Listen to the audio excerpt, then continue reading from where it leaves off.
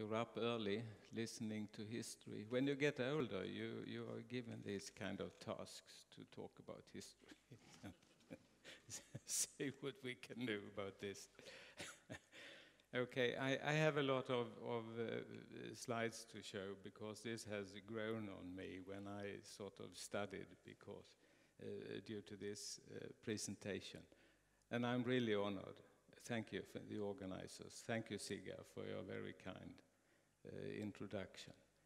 And um, I, will, uh, I will cover from the uh, Nordic uh, Society, NAF, from 1949 to the SSAI in 1999, but I would also go a little beyond that and look into what we see uh, today.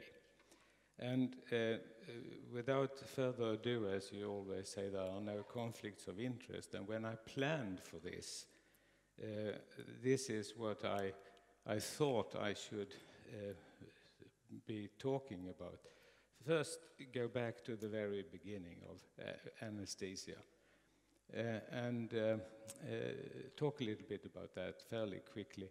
And then, in three periods during the 1900 to 1950, 1950 to 2000 and beyond, uh, there was the insensibility of pain for the first um, uh, 50 years, and then the new knowledge uh, sort of came upon us, and that is the end of that period where it was realized that you needed to reorganize to match the new uh, activities and the modern uh, health care.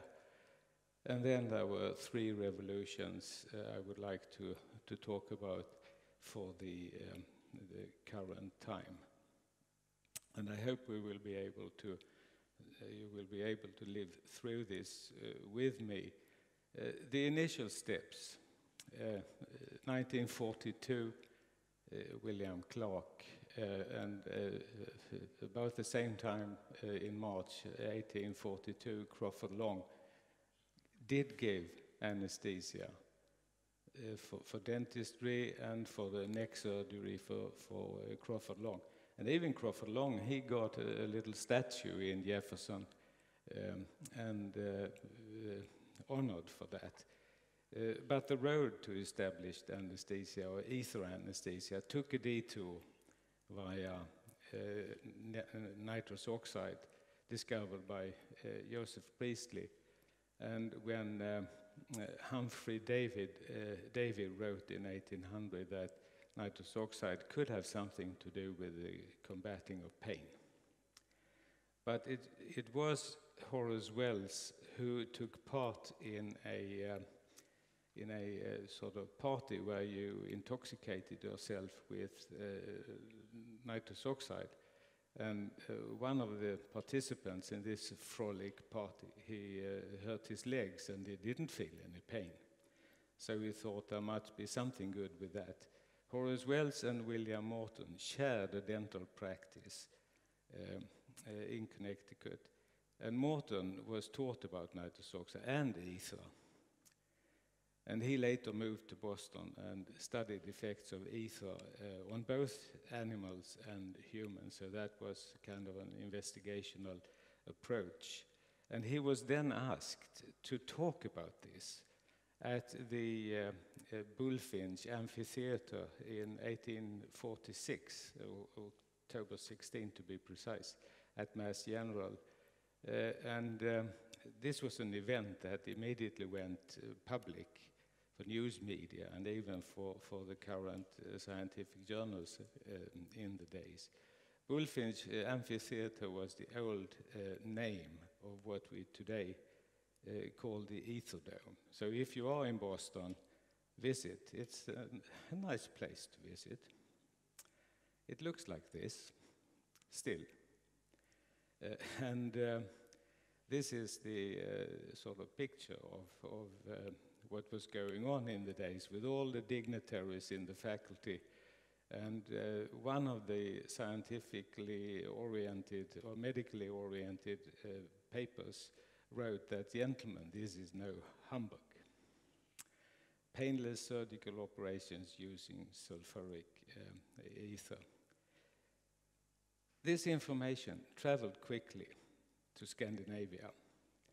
And I have learned from a little study of what Ole Secher wrote uh, about first ether anesthetics. And this is quite uh, an extraordinary information. Uh, the 6th of February, the first ether anesthesia was given in uh, Sweden. Uh, the 20th of February, the first ether anesthesia was given in Denmark. And the 4th of March, the first ether anesthesia was given in Norway. And in Finland, March 8. The same year, 1847. Uh, Iceland came a little later, but fairly quickly anyway, considering the, the level of healthcare that was existing in Iceland in, in those days. But within six or eight weeks, first ether anesthesias were given in, in, in four of the five Scandinavian countries. A few thoughts about this. Uh, the discovery of anesthesia was serendipitous at this frolic uh, party, uh, but it remained to find its place in medical practice. But we were entering into a dynamic period uh, of uh, uh, medicine and uh, to start this period, insensibility to pain had been discovered uh, during this time. And uh, inventions uh, continued. The cocaine story, Albert Niemann described the uh, alkaloid, and Karl Koller needed something for his eye surgery, so he asked Sigmund Freud if he could use a little bit of, of Sigmund Freud's cocaine and uh, it was successful. And Alfred Einhorn did really the first uh, synthetic uh, local anesthetic, uh, the, uh, the uh, ester compound procaine in 1905. So this was a dynamic time.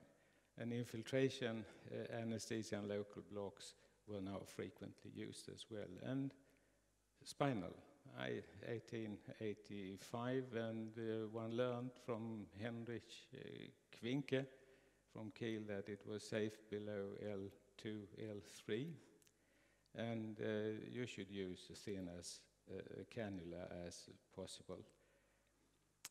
So with this as a background, uh, I will now continue to, to use um, uh, development of healthcare uh, of medicine in general and anesthesia and how that went in parallel and, and uh, where anesthesia has been put during these three time periods.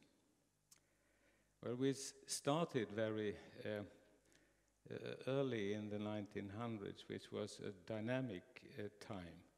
The late 1800s and the early 1900s saw Louis Pasteur and what he had, had achieved. You also learned a little bit in the light microscope that came in those days about inflammatory cells, which were unknown until uh, this uh, discovery was made. And we had Röntgen, of course, in those days, Robert Koch, tuberculosis and disease transmissions, and uh, Kocher about the thyroid gland physiology, pathology, and surgery of that. Alexis Carrel learned how to widen the vascular uh, uh, geometry so you could transplant uh, and, so, and uh, get the vessels right and uh, no thrombosis. There. Landsteiner and uh, the blood groups and Billroth, insulin, 1920s penicillin and sulfonamide uh, in the 30s to 40s. So, um, just to show a little bit about what this dynamic time also could, could mean to us anesthesiologists and how we thought in those days and planned. Uh, and uh, it was a neurosurgeon uh, called Crile, who in the first issue of Anesthesia and Analgesia in 1914 described uh, what he called his theory of anosy association. It's pretty clear that if you have a trauma and you're fully awake, you activate your, your uh, brain. If you are anesthetized, you have your trauma, you also activate your brain. A little different, but still, there's activation. So, what he thought this early, if you uh, anesthetize and you use a block of some kind, you're well off. This is an information that we, that we um, really look upon as the stress free kind of anesthesia, and this is also a very high topic today how we can activate microglia and how Kevin Tracey and others have discovered the inflammatory reflex, as one say, just like the patellar reflex. There is an inflammatory reflex uh, involving uh, the, the brain. And that came to us fairly early and is still one of the hottest uh, topics uh, today for uh, developing our practice. I'm sure this is a field that will change our practice within the next uh, 15, 20 years quite a lot.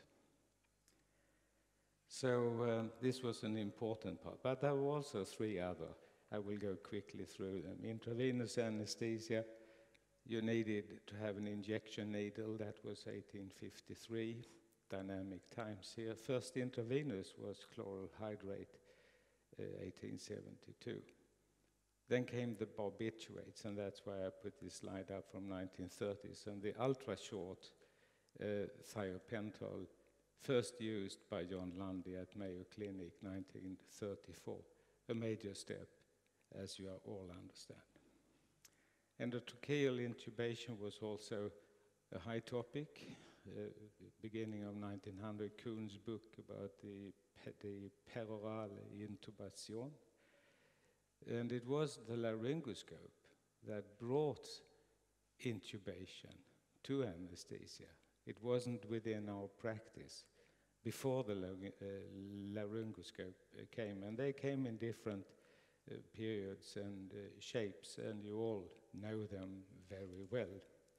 Just to make this complete, in the 1940s, although one knew about uh, curare uh, early on, but it was during the 1940s that it combined with Stefan Thesleff's uh, uh, succinyl choline and muscle relaxation became something we used fairly frequently. So this period was focus on surgical activities in the operating room. There were no antibiotics, no anti-inflammatory drugs, poor pre and post-op recovery or care. Anesthesia and analgesia was not very highly prioritized in our uh, medical world, and acid-base and metabolism and fluid were underdeveloped. So we had a fairly simple uh, organization. Medicine to the left of our hospitals and surgery to the right. But when we compare our practice with the practice in the United States and the United Kingdom, the outcome of surgery was uh, very poor in the Scandinavian countries. And I have a couple of examples that I have borrowed from, from the information given by Torsten Gordh when he started the first position for anesthesia, physician, the first physician position uh, for anesthesia in 1940 when he returned from his uh, two years uh, in Madison, Wisconsin by Ralph uh, Waters. So this is a comparison of, um, well, I should go back, press the wrong buttons here. But this is from the 1920s in uh, Stockholm compared to the first three years of Torsten Gordh's practice, uh, cholecystectomies had a mortality of 8.3%, and it came down to 1.4%. Cancer coli, almost 60%. and came down to 15%. He also compared a local activity, Uppsala and Stockholm, and the two Stockholm hospitals that he organized, comparison of mortalities of uh, around 12%, uh, or, or, even in, in Uppsala in those days.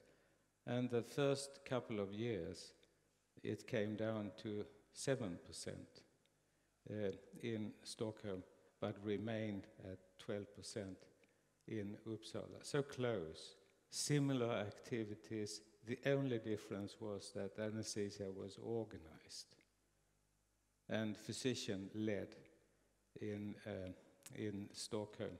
So this information, wisely uh, done by uh, Torsten Gordh, sort of convinced the Scandinavian societies that, uh, or Scandinavian uh, medical world, that this was something one should uh, took seriously.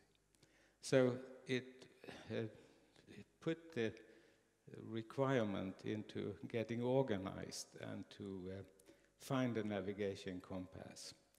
And you should navigate, you should teach and train, you should establish a society, you should start a journal, and you should develop your science. So Torsten, he was visited by a lot of uh, colleagues.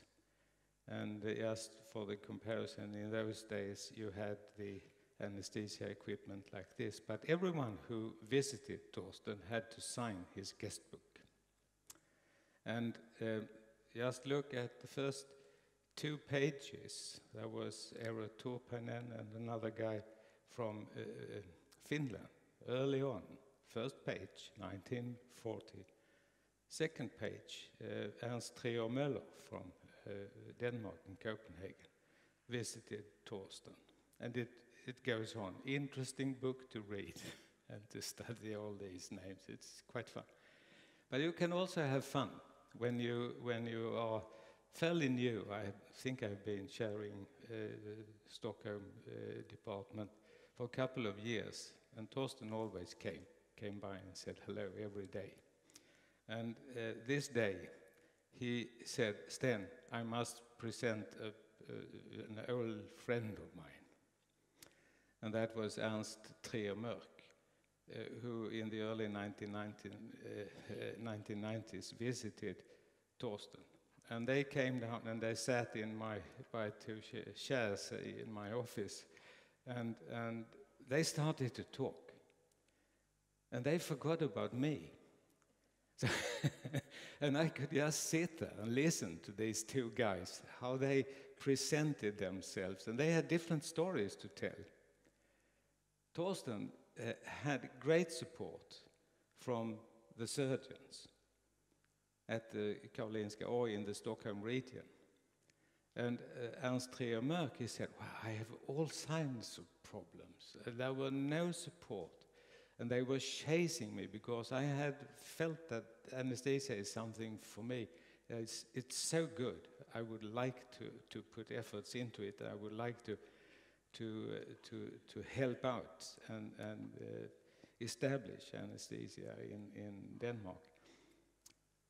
But he, he, he was sort of knocked out, uh, or, uh, so he moved. He emigrated to the United States and, uh, and, and, was successful uh, in the States and had great fun in the specialty, was a good, uh, good doctor in those days. And even at this age, these two gentlemen, well, I, I asked the hospital photographer to come, please come and take a couple of pictures. Are more pictures than this. Uh, but, but you see that this, this uh, gentleman, he, he was successful even in his old days. He, wa- he had just been appointed sheriff in his local county in, in Florida where he, where he lived as a, two, two great guys. That perhaps one of those short moments in your life that you will never forget. But they talked about how difficult it was to start anesthesia in our world. We had a lot of resistance. You needed to be brave, Sigga, and you needed to, to break through, and these two did it. So, with that, I will leave this uh, period uh, of the beginning of, of the 1900s and take the, the, the, the next uh, 50 years characterized by uh, very much of a new knowledge that appeared. It was also a dynamic time, but dynamic in another way. It developed medicine, and focus was now put uh, very much uh, on uh, outcome. And uh, that required improvements in anesthesia, of course, as we have seen the early statistics here.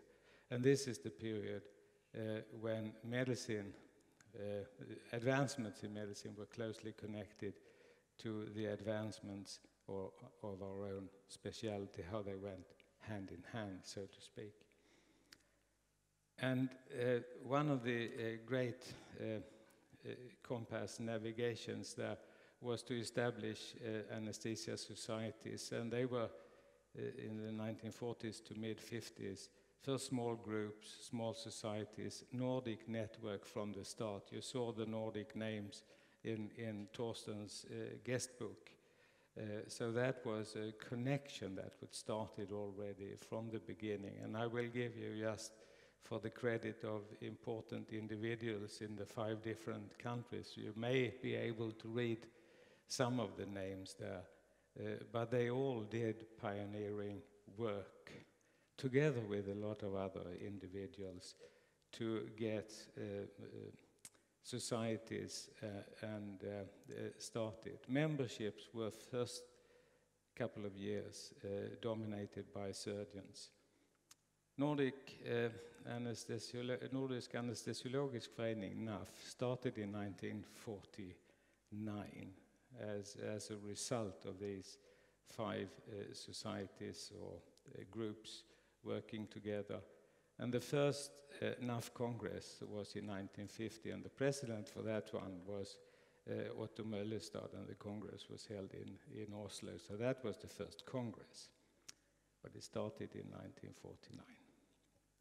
Establishing of a scientific journal. Well, the NAF Congress in Stockholm, 1952. Then Torsten Gordh was the president, and uh, the Scandinavian Journal was on the agenda. Henning Poulsen uh, had a key role to establish the uh, uh, journal, and he looked into the uh, economics of it. And he, he said, There is no risk. They just, just go. I mean, this is just, just safe. And there were lovely, uh, lively discussions but the conclusion was we have insufficient scientific activities.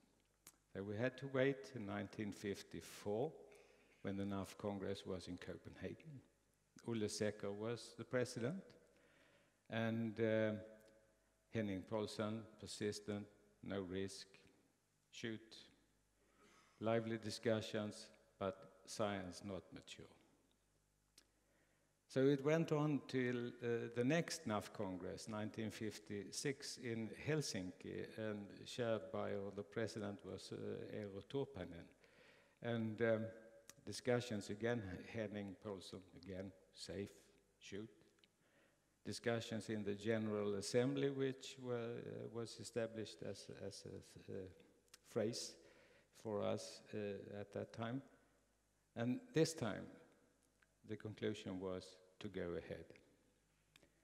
So very soon after this, uh, every, first everyone uh, agreed that it was kind of good to take time and to mature and to start uh, at a good uh, pace. But, but then once decision was taken, there was a planning meeting early on already in, in November 1956, and it was decided with the name, the language, and the owner uh, of the journal, and the finances that should be separate from uh, the NAF.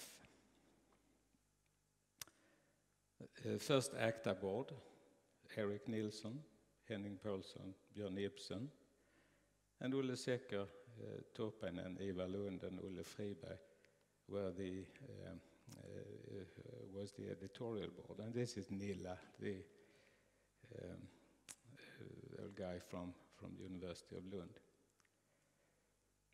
Volume one appeared in the fall of 1957, but it was soon felt that the dynamic uh, number of subscribers needed uh, the journal to increase its volume uh, and its size.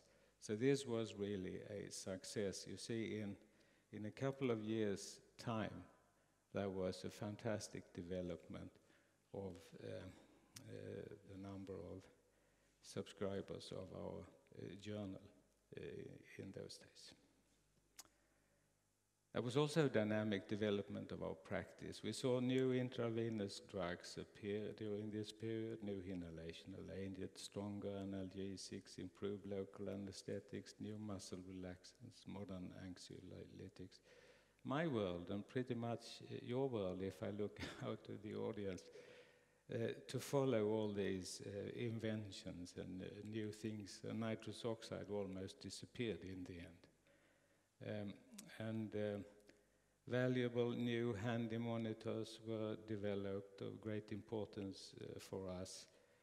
Uh, and uh, we also continued to uh, improve uh, the equipment, to see the anesthesia working stations delivering all the gases. Just compare with the old ones, where you see on the on the right-hand side the reverted vacuum cleaner uh, to use as, as a, uh, a, ventilator and compared to, to the machines that uh, developed uh, during the 1950s to the 2000s. So that was a dynamic time, of course. Patient safety was already on. We've seen these monitors that helped very much in patient safety, new techniques for laryngoscopes and, and so on uh, were developed, and uh, patient evaluations pre and post op were uh, developed, and uh, which also improved uh, patient safety. Beecher was driving these issues from the very first beginning. I wonder about the statistics, but in his report together with Todd in 1952, the mortality uh, claimed that anesthesia had something to do with it was 1 to 1500. That was probably not right uh, in the days because patients are sick and die from many causes. But there was another from the United Kingdom. Uh, 30 years later that showed uh, numbers that we, we more think are reliable for today. So anesthesia is safe, and it is a, uh, and the development to this stage is fantastic during these uh, uh years. Continued opioids, endorphins, gate theory, pain clinics came up development of uh, intensive care, one started during these 50 years to, to more go to the pathogenic mechanisms for why people are in the ICUs or why people are sick. And, and that created a fantastic development of intensive care uh, that had to be based on uh, pathogenic processes and advanced knowledge of, of disease mechanisms and, and uh, so on. So that early on uh, triggered uh, development of acid base and fluid, nutrition, uh, infection, ventilation, organization, and not least, important for what we are going to turn into for the SSAI to come, education. We need it to be very good. We needed to know what we were doing, not only maintain the airways and the intravenous lines. So modern uh, intensive care and following along during this time also the acute medicine emergency care, which also is very strong uh, in our society. Teaching and training is important. Uh, and uh, we formed our uh, specialist educations during the 50s and 60s, and I think all Scandinavian countries in the 60s and early 70s had five years of training as a requirement. Subspecialization started to develop. National society designed fine programs, international activities of importance, but it was difficult for each uh, society to match the quality from Europe and the United States. This was a field where the Nordic countries together could develop and collaborate. NAF did, however, not offer such activities. Medical development continued, and we, as we went along to, to the end of the 1900s, uh, we, uh, we had gone very far in the organ-based structures of our uh, activities. We have the neuro, we have the cardiac, we have the peds, uh, we have the ortho, and it goes on obstetrics, urology. Well, you see what I have listed here. And they all came into depth in each of these specialties, which was important for us to learn more about the collaborating work we had to do with these specialties. Intensive care developed strong in peds, neuro, cardiac, and general intensive care. It was kind of a dispersity. It, it, we thought that, that this is something that we need to look into. This is something we need to, to be able to control and find our specialties place to work uh, with these different uh, organ-based uh, specialities. Pain clinics, the same. Emergency medicine was a little different, but was also established uh, at this time. So if we had medicine to the left and surgery to the right, early on, we now have 50, 60, 70 different specialties in the end of the 1900s.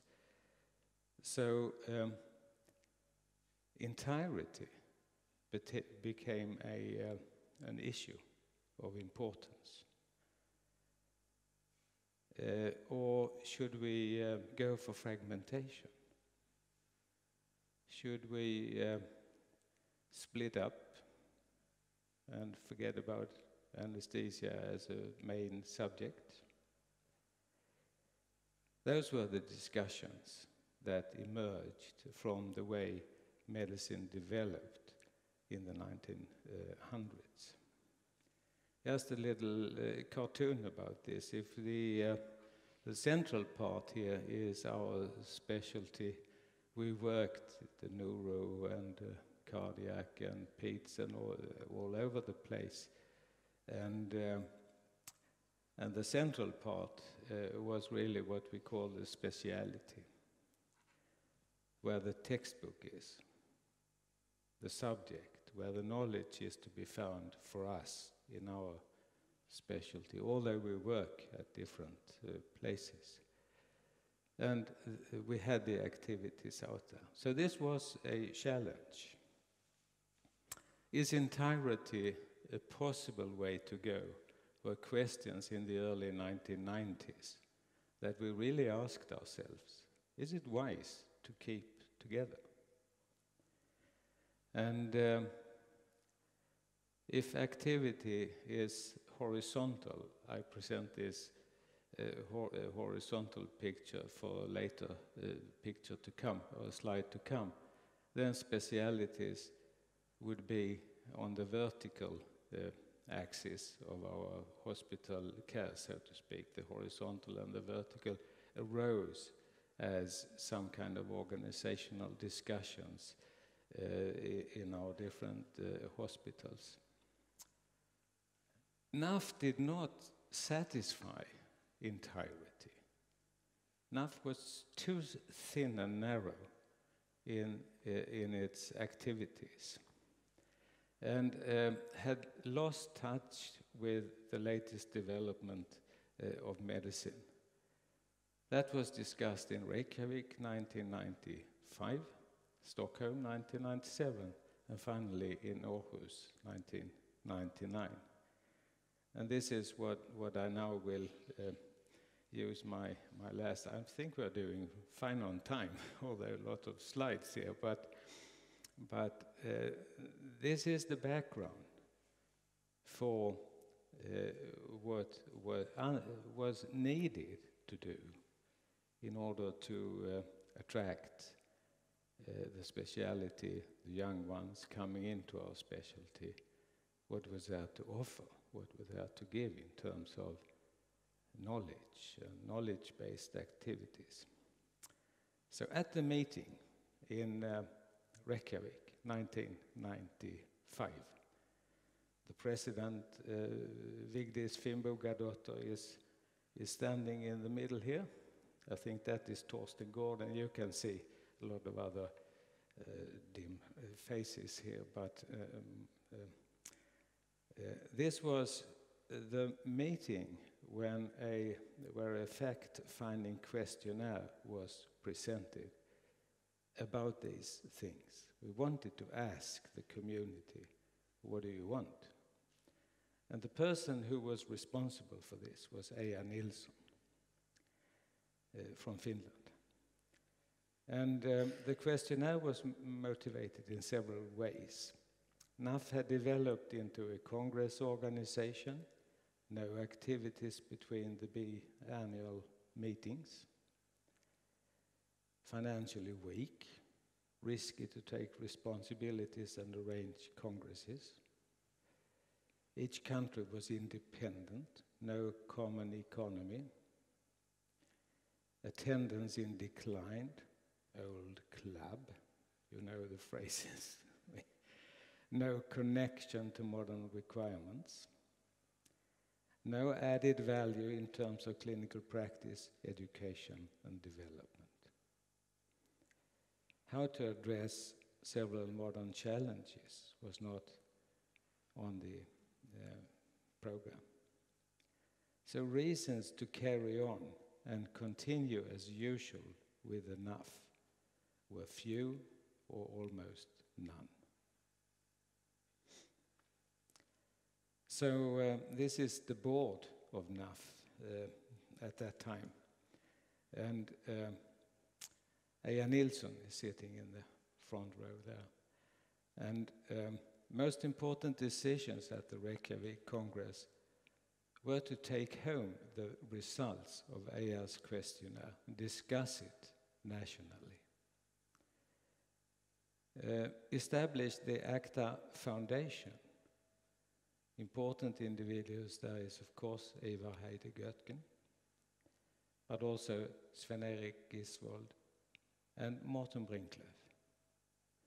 A nice triad of strong people, brave people, uh, that uh, took early decisions uh, for the ACTA Foundation. We will come back to that in a little moment. And uh, the next was to continue discussions in the board and there I put a circle around Torstein Stefansson from Iceland, who was the Congress president in Reykjavik, but then continued as General Secretary uh, in the organization. And this was the incoming president, which is supposed to be me. So we had to continue this discussion a little bit and present the final decision at the NAF Congress in Stockholm, 1997. The working group for modernization of NAF is this one. You can recognize quite a few of these people active still here. Results and suggestions based on discussions concerning a reorganization to be presented at the NAF Congress in Stockholm 97. So um, just to, to illustrate the urgency of the changes. You know, the treadmills in the fitness center, press quick start. And this was really what uh, Ivar Götke did. He pressed the quick, uh, the quick start. ACTA Foundation was established 1995. Same year and summer as the Reykjavik uh, meeting. ACTA Foundation will secure the economic basis for publication of ACTA, and it should be based in Danish legislation, including uh, taxation and uh, auditing business. The objects of the foundation were to promote the scientific development of anesthesiology in the Scandinavian countries, all five, support collaboration between Scandinavian anesthesiologists, publish ACTA. Creation of the NAF Foundation was the first important step on the road towards reorganization of NAF. ACTA Foundation is financially separated from NAF, later the SSAI. The combined board and planning meeting took place during two days um, in 1996 uh, in Hellerup, uh, just outside of Copenhagen. This is uh, still the hotel, I guess. It was an important couple of, of meetings uh, we had and in-depth discussions regarding the NAF engagement for specialist education, continued medical education, research, quality, safety, inter-Nordic collaboration. All these issues were up again and again and again, just to make sure that everyone understood. Develop a clear structure, but time was not ready for a federal organization. We couldn't leave the links to the Scandinavian, uh, to our national uh, societies, and go broadly together, uh, uh, financially at least, which was very important. Continued discussion, present in Stockholm, and important discussions and debates within each national society was carried out um, based on, on uh, the Hellerup uh, meeting and interactions between NAF board, the planning group, and national societies. All three interacted frequently, helped clarify and look ahead, and look ahead together, not separately. The NAF Congress in Stockholm then, uh, Norra Latin, NAF board and the planning group presented. The General Assembly discussed and debated. And this was kind of a, uh, a theory or philosophy that uh, carried the idea of a uh, communality between the five different uh, Nordic countries. And um, together made uh, stronger. The best way to honor history was to, uh, to modernize and modify in concert with the changes in modern medicine development and expansion of knowledge. So the conclusions were reorganize, start the process, prepare for transition in Aarhus 1999. Design an organization that was good for the tripartite mission of clinical practice, education and training, and research and innovation. Excellence in all three is needed. So, um, press quick start again after the, the Stockholm meeting.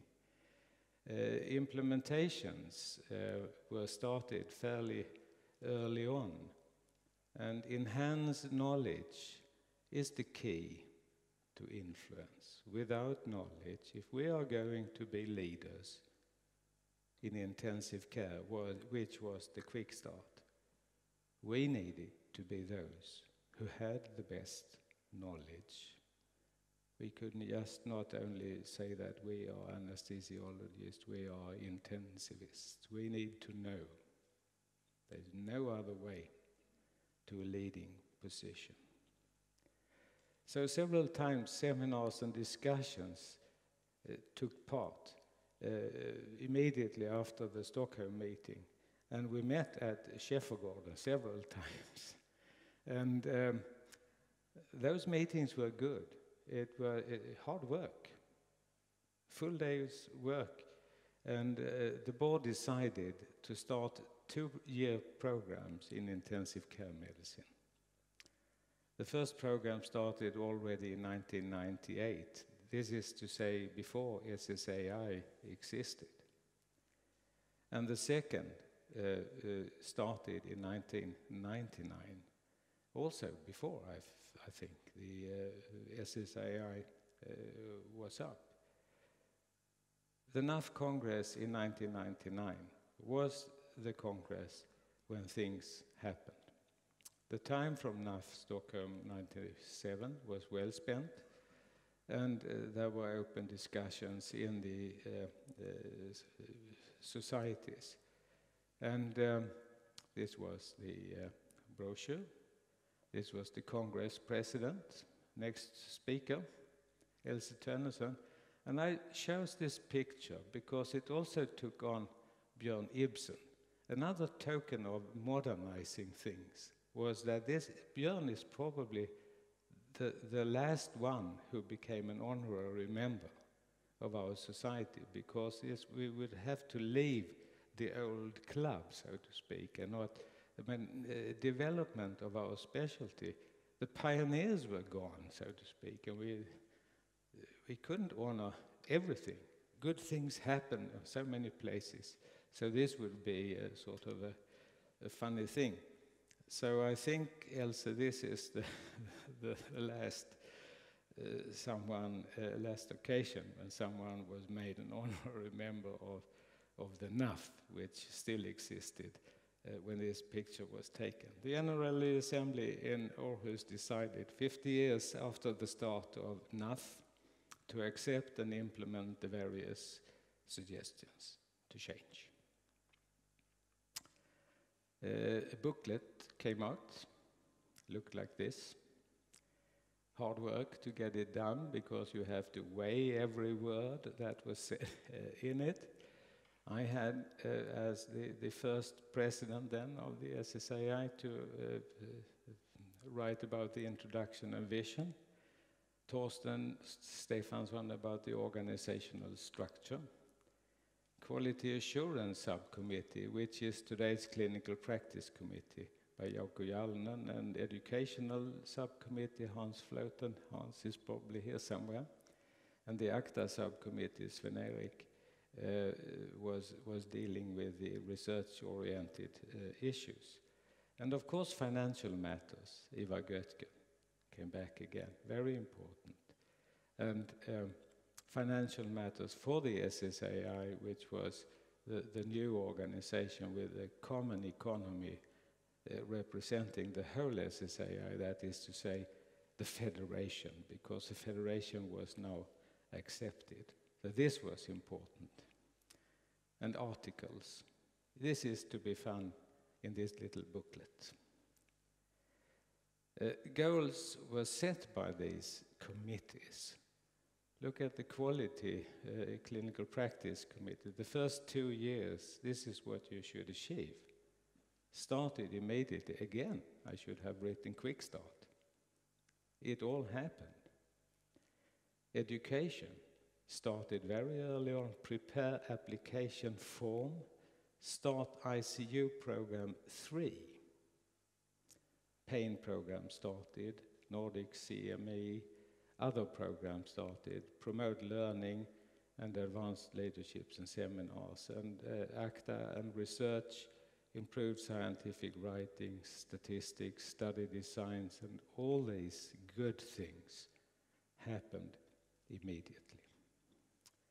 And the goals continued, uh, promote science and development, uh, the ACTA Foundation, support collaboration, publish ACTA, financial matters, Morten, economic foundation, the life nerve of positive growth and development. Without a sound economy, uh, you cannot do things.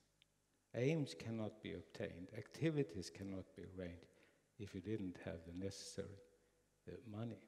So the millennium could now be met in an organization designed for the future, an organization designed to support the continued change in order for our specialty to always be aligned with and actively contributing to the development of modern academic health care.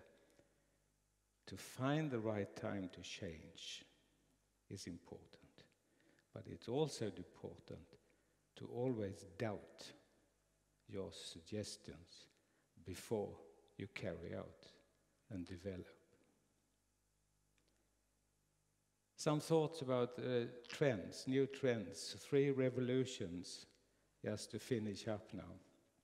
I think we are still doing okay with time. I think we had the molecular biology, we had the genomics, we had the uh, convergence revolution, which we are just now living in. Because things have expanded, we need to converge our activities. Convergence, revolution, and technological advances set the stage. Technological innovations, fusing neuroscience and biomedical engineering, have a computer finding the signals from the brain to drive the hand. New knowledge, knowledge transfer, transforming healthcare are important ingredients in modern academic society to support the tripartite mission. Perhaps pathogenic themes will support the tripartite mission. These are some of them. Look at inflammation, for instance. If this is a theme to build hospital organizations, you have multiple sclerosis people to deal with inflammation, to work with Crohn's disease or rheumatoid arthritis or psoriasis or other inflammatory diseases of importance.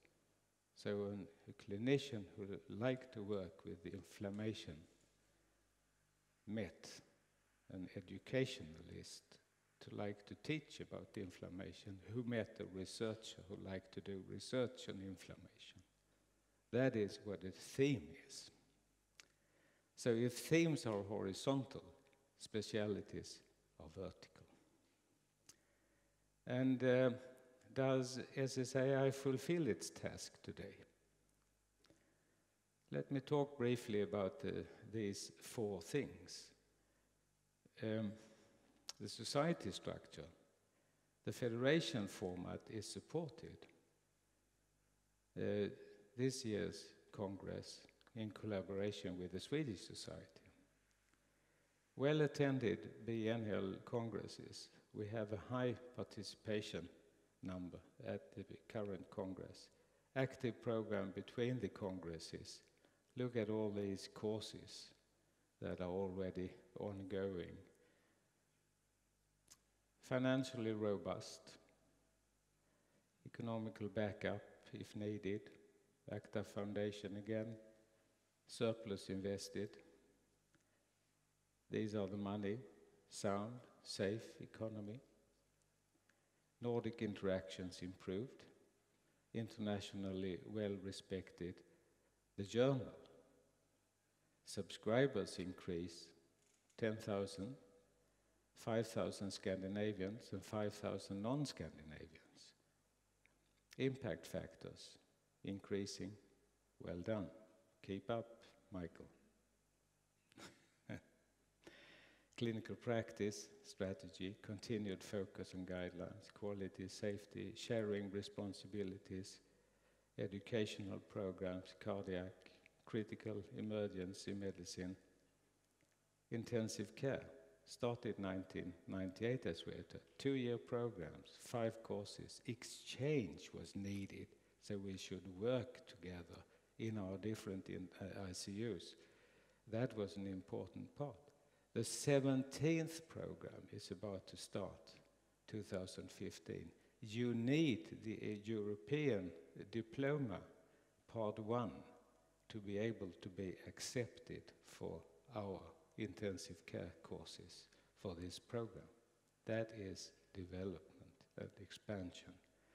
Most ICUs in the Scandinavian countries are led by people who have been through these programs. Pediatric, also very ambitious, and pain, perioperative medicine, obstetrics, and not least, let us train the trainers so we have good teachers. Research committee, grant seminars, writing projects, work together, clinical multi-center studies. And next uh, slide is perhaps the last one, or a couple of others. A new hospital, it happens to be the Karolinska, which is very expensive, too expensive today.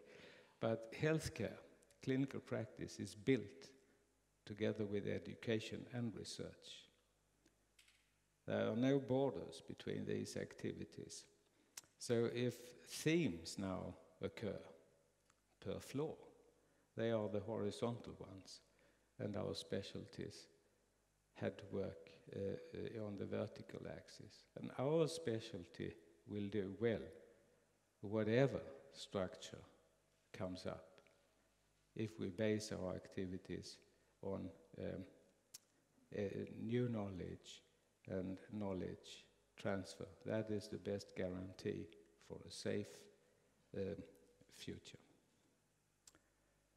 So, uh, the elegant new logo and careful amendments of the articles for SSAI symbolizes innovation and creativity and is a robust token of belief in the future. Thanks to all leaders in the SSAI organization for your fine work, and not least to all members and to sponsors and supporters. SSAI is well set to meet the future. So this is the time for the first president to take off his hat and salute the continued development of SSAI. So well structured and positioned to accommodate future changes and challenges.